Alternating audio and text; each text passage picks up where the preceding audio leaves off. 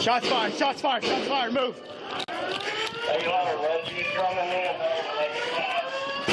Right, right, right.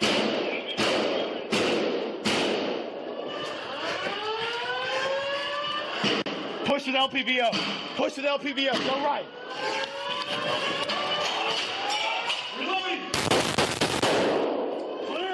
Move, move. Watch out, watch out. Move. Stop moving! Watch left, watch left. Suspect down, suspect down. Some of the footage right there the Nashville Police officers acting as heroes, uh, saving lives clearly, taking down transgender mass murderer Audrey Hale.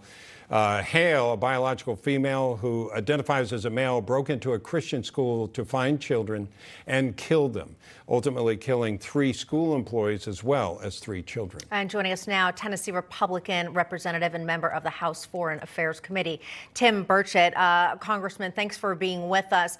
Obviously, this is your home state, and I understand that you have lived in Nashville. Your reaction? Just horrific. Um, I feel grief for the families involved, and uh, this is just not an easy time for anybody. Yeah, and I, unfortunately, we've seen this uh, time and again. I, I, will say one thing. Uh, I lived in Nashville for 10 years. I am proud of the police officers there for the work that they did. I'm sure you are as well.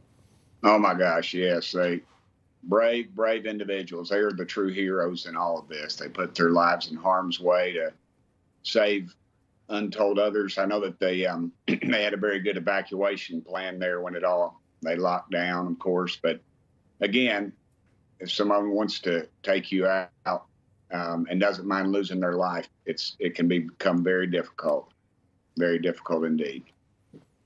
Uh, also, want to move on to this one. Uh, yesterday on the U.S. Mexico border in Juarez, Mexico, migrants fearing deportation set mattresses ablaze at an immigration detention center, starting a fire that left 39 dead. Uh, it seems like the border, border situation continues to get worse, as we heard uh, even Alejandro Mayorkas today, showing that he really doesn't know some basic things about what's actually going on at our border. I think he does know what's going on. He's just lying. Um, mm. He needs to go. This is just another representative of this failed administration. Um, I, I'm at a loss every time I hear him speak. He's very smooth, and uh, he always has plausible deniability. I've been to the border.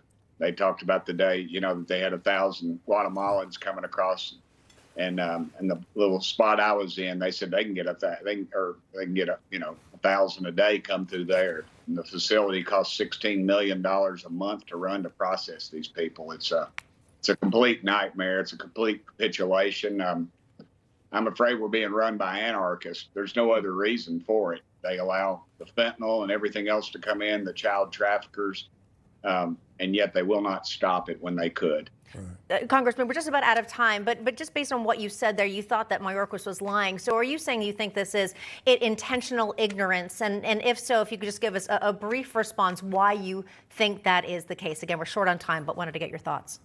Yes, ma'am. 100% he's lying. He know he has the facts. He has every asset at his disposal. Yet he continues to spread this lie that we're in control of the border he is a liar, ma'am. There's no, it's a hard word to call somebody, but it's the truth. And I think everybody knows it.